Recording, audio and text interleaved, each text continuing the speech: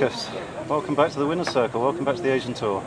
Yeah, wow. Um, I, I don't know what to say. Um, it's been pretty overwhelming the last uh, the last half an hour. Just I'm still trying to digest it all. It's um, you know people say they haven't seen me this smile this much ever, which I'm not surprised. I mean to go from you know to go from where I have, it's been a you know the last 12 months has been really tough.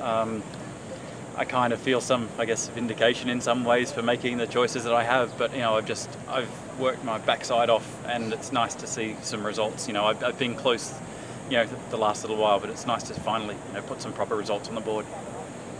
We know that you you only win on family's birthday, but what about this one?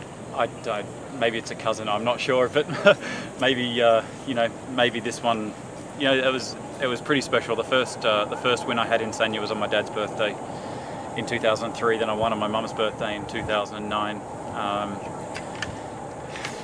yeah, I'm not sure. I mean, this is, I, I guess, this is kind of the, the, reward for myself. I'll see this one for myself a little bit simply because it's, um, you know, it's been such a, a, hard road the last 12 months. Is that, um, uh, yeah, I mean, it's obviously just, I'm ecstatic. I, I can't put it into words right at the minute how I'm feeling. You played yourself into the penultimate group yesterday. Did that, yeah. uh, did that sort of help you keep the pressure um, off? I don't think so. I mean, I, I, didn't I didn't play great yesterday, but I didn't feel like I played that bad. I mean, this golf course just has a way of just it just grabs you without you know when you're least expecting it. Um, I knew that you know, 18's a tough hole. I mean, I hit you know three wood two iron in there today.